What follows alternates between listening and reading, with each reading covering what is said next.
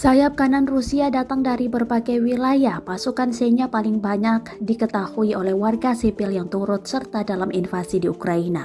Tak hanya itu, tentara Koshak atau Kazaki menjadi bagian dalam pertempuran di Ukraina sebagai sayap kanan Rusia.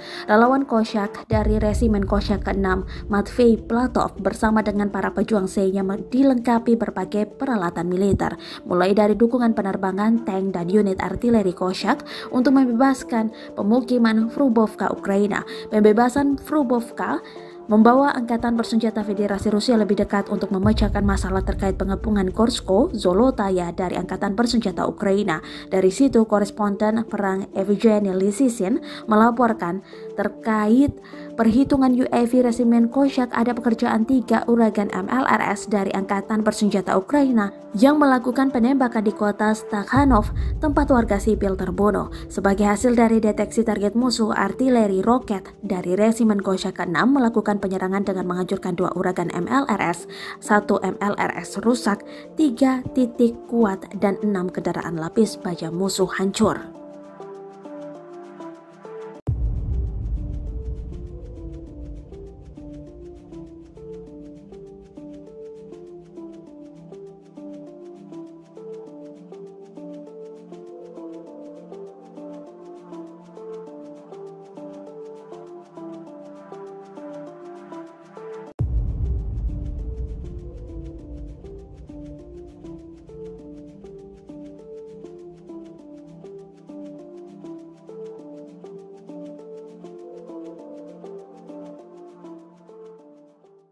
Terima kasih sudah nonton. Jangan lupa like, subscribe, dan share ya.